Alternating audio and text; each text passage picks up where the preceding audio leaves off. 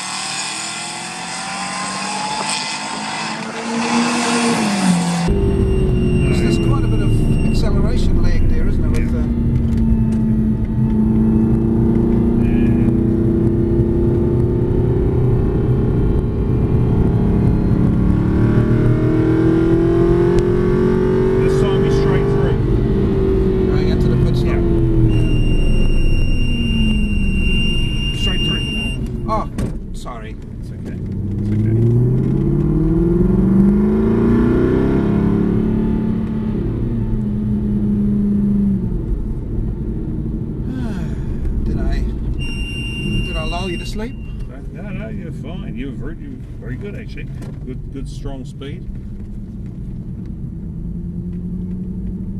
I, I actually do think that uh, all the uh, you know all the preparations for stuff that I did has helped because it, it all looks really familiar. Oh, good, good. Where to go to the front there, right? Yeah, just down by garage seven and eight.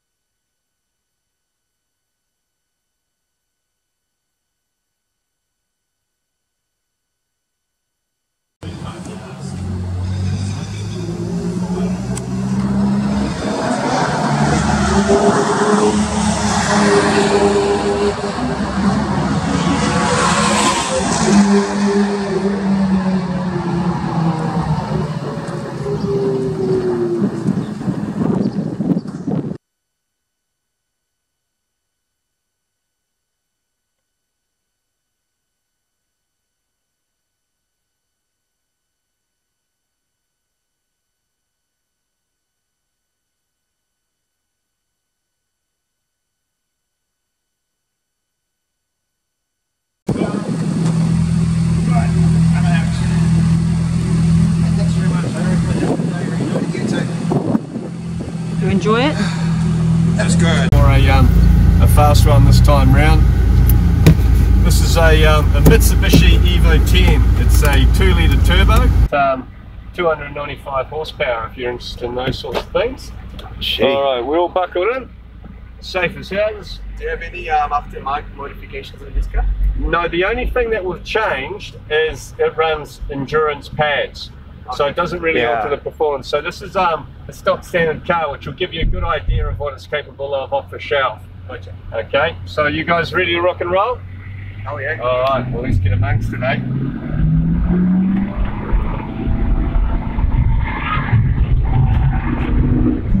Bloody hell.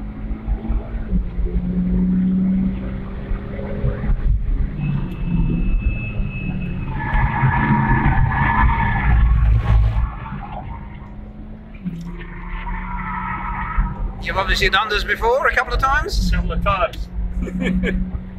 Ferrari, this is uh, Evo approaching. Passing on your right, thank you.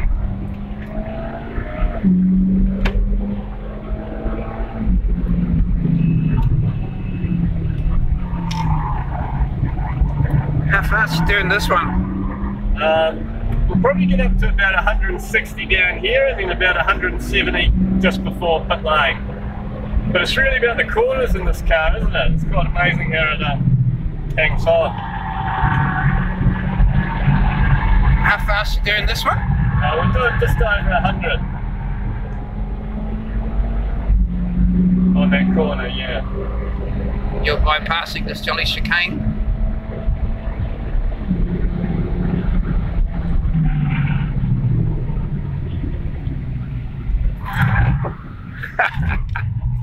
you like throwing it around, don't you? What do you reckon, guys? Bit of fun? Wow.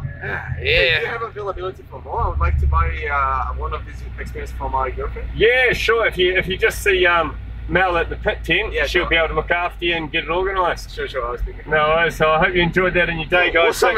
Thanks, thanks for coming out. Ah, eh? that Really was- appreciate Oh, it. thanks That was brilliant. Thanks Awesome. very much. man. No worries, Han. You're welcome. Thanks very much. Awesome. Safe travels if you're sneaking down the back roads, eh? Uh, yeah, yeah, no, I'm not going to attempt to do this. I've got a 1500 Corolla, it's not quite up to it. Any good?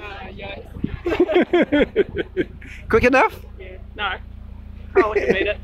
Corolla could beat it, you reckon? Yeah. Probably could, eh? It was rather quick.